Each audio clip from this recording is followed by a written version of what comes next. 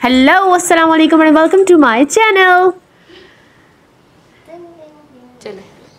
तो सीन कुछ यूँ है कि हनी के समर टास्क में उसको एक प्रोजेक्ट मिला था to make a robo and today we are going to make that robot so first of all what we gonna do is we are taking disposable cup आप किसी भी साइज़ का ले सकते हैं। प्लेन में है तो you don't need to cover it मेरे पास प्रिंटेड है तो I am gonna cover it with green sheet the next step is to cut this two straps किसी भी कलर की two cross thirty centimetre means two centimetre इनकी width होगी और जो लेंथ होगी वो थर्टी सेंटीमीटर होगी।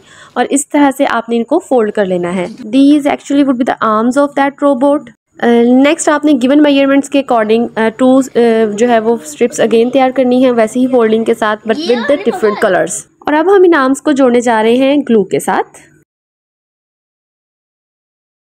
Kids are really loving it जी तो अब बारी है इसकी लेग्स की. लेग्स को भी सेम हमने आर्म्स की तरह ग्लू के साथ उसको बॉडी के नीचे वाले पार्ट पर ऐसे ग्लू के साथ अटैच कर देना है। हनी मेरा बहुत ज़्यादा परेशान हो रहा था कि मैं कैसे बनाऊँगा? रोबोट मुझे नहीं आता। तो आई थॉट कि मुझे इसकी हेल्प करनी चाहिए। और रियली हमें इसे बनाते हुए बहुत ज़्यादा मज़ा आया था है ना हनी हाँ जी। जी तो नेक्स्ट स्टेप इसमें हमने ये करना है कि हमने एक और डिफरेंट कलर का पेपर लेना है।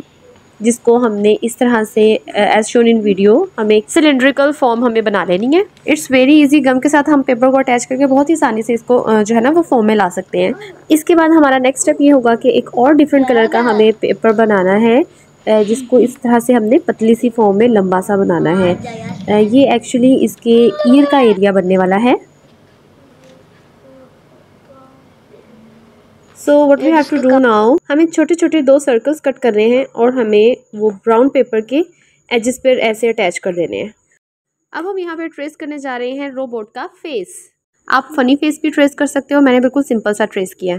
अब हम यहाँ पे रोबोट के हैंड्स बनाने जा रहे हैं। इसके लिए हमें करना क्या है कि आर्म्स का जो कलर है उससे कोई डिफरेंट पेपर लेकर सर्कल कट करके बीच में से ऐसे ट्राइंगल शेप में कट लगा देना है।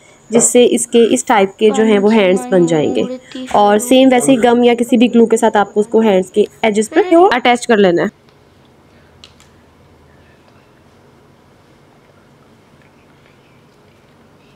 ओ छोनो पाजी का सोनो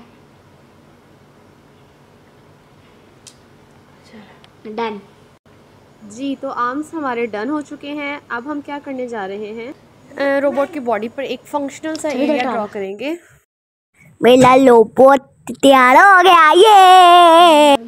ये रोबोट के बटन मर गया क्या मम्मा? ये रोबोट के बटन नहीं है ये है स्क्रू उसकी बॉडी के ऊपर ऐसे स्क्रू बनाया होता है ना स्क्रू के अच्छा। साथ वो स्क्रू टाइट किए हुए मैंने उसके।